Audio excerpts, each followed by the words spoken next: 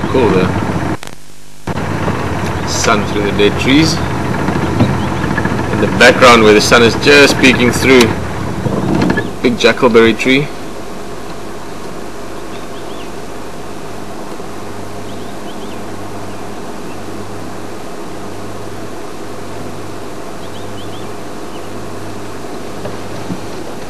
I was thinking just now when I said we're going to see something unexpected today, that's a guarantee. Something we never have to worry about not seeing on these drives. They are live and a lot of things happen unexpectedly. Sometimes seeing expected things are also good, like the sunrise. Sunrise every morning is beautiful. If suddenly it became an unexpected event and it didn't come up, it would be a very different experience.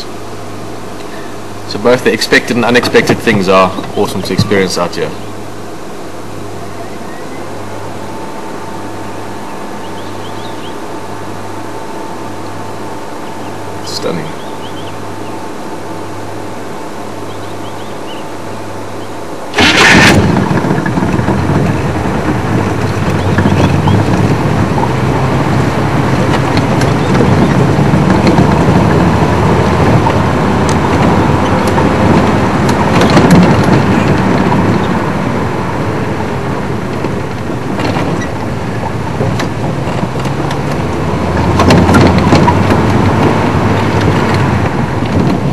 Start our morning towards Buffelshoek Dam. Straight towards Buffelshoek Dam, go have a look around there. And then slowly work our way south a bit.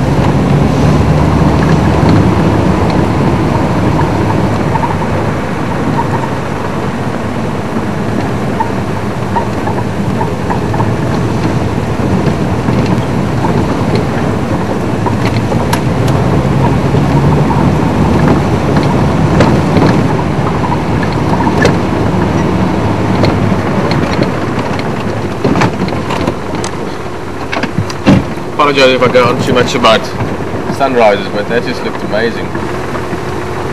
Up about there, as you've got a gap there. Yeah, it's a big tree, just looks awesome.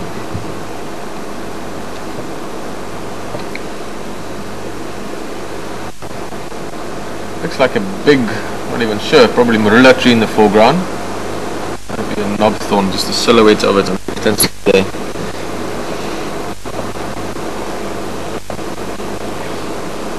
These little round seed pods you can see in the front right hand side. It's just much much closer to the tree is quite far away probably 600 meters. Once in front is from a russet bush willow just the classic winged fruits from the combretums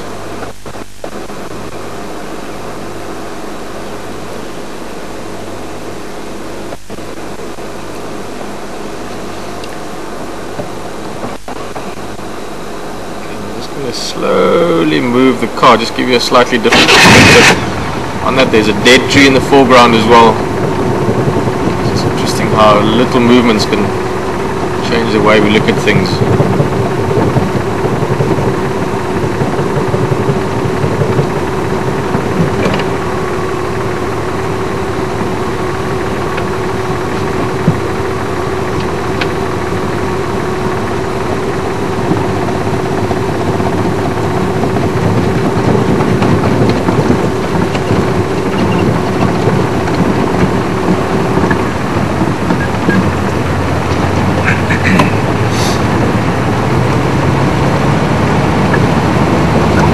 Gorgeous, morning out here.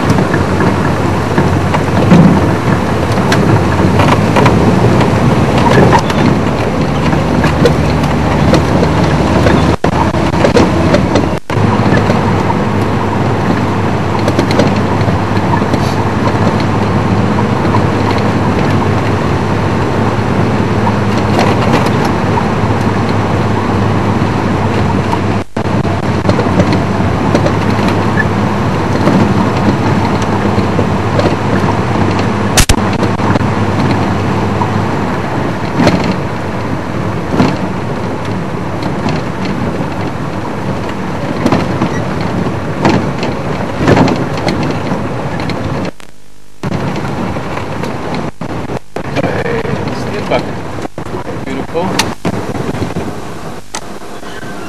Must been sleeping right next to the here early morning.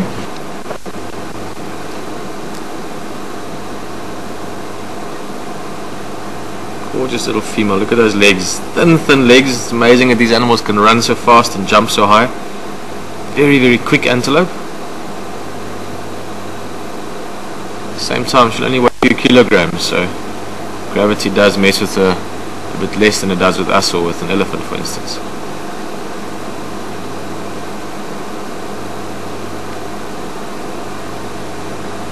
Again, as you can see, all the grass around her is burnt. Black stubble. This is from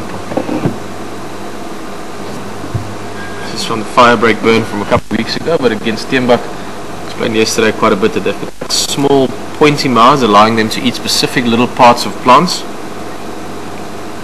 Means that she can get good nutrition out of this already. Just the stubble that might be flashing through or green off the trees, enough to sustain.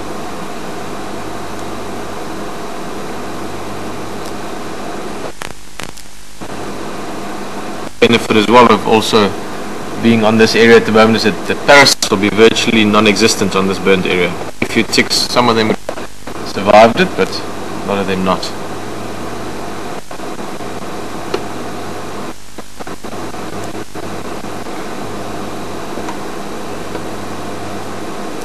You can see how these animals keep themselves really clean.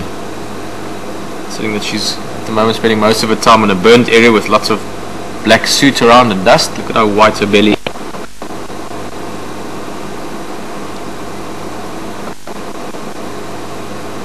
I need to get a glass head or something so we can see through it.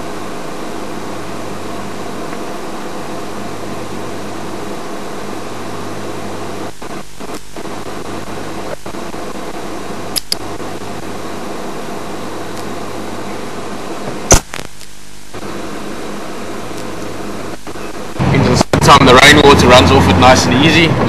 Doesn't get too eroded from rain.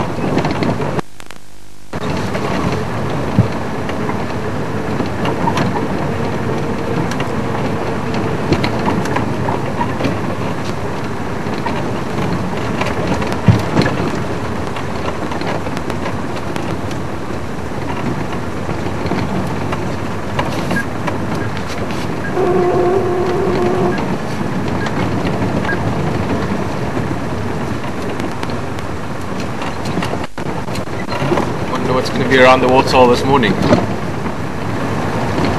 Always find it driving up to a waterhole there. I mean, very often you might see nothing there, you might just see water, and that alone is quite beautiful out here. But uh,